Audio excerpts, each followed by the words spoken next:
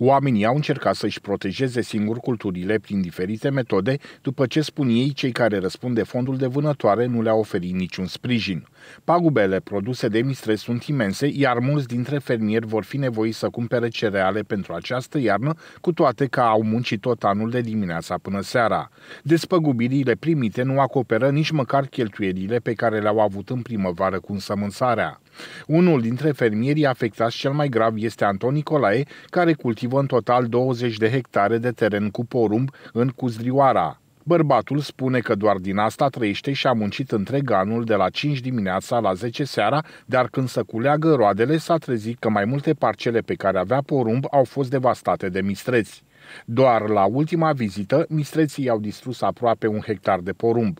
A anunțat autoritățile, s-au făcut toate demersurile pentru a fi despăgubit, au fost evaluate pierderile, dar despăgubirile primite sunt în bătaie de joc, spune fermierul.